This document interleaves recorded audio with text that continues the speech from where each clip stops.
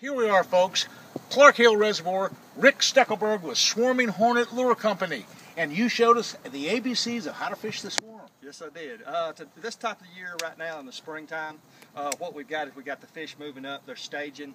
Uh, they're right in the middle of the pocket. So what we're doing is we're actually throwing our castable umbrella rig uh, that's actually unique. It's a little bit more different than all the other castable umbrella rigs that you have out on the market.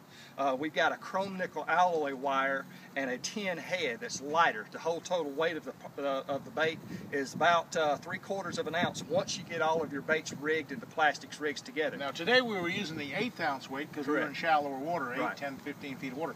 But I guess in the summertime you go much heavier. You can go deeper, right. You put changed all these other from an eighth to a quarter ounce. Now you've got a total weight of about an ounce and a half.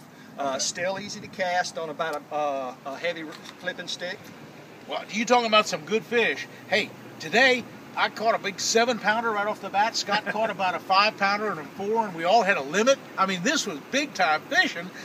20 or so fish in just no time on the swarm. It really worked well. Thank you very much. Now, oh no, no Rick, uh, you can you can get these a lot of different places. I mean, I know uh, I know Bass Pro Shop has. Yes, it's also it is and, available at Bass Pro Shops. And uh, you can go on your website. Absolutely, it's okay. swarminghornetlures.com. Okay, so folks, you need to get in on the bandwagon. This is the way to catch fish in the springtime, summer, fall, for that matter. Absolutely. But right now, they're hitting the swarm.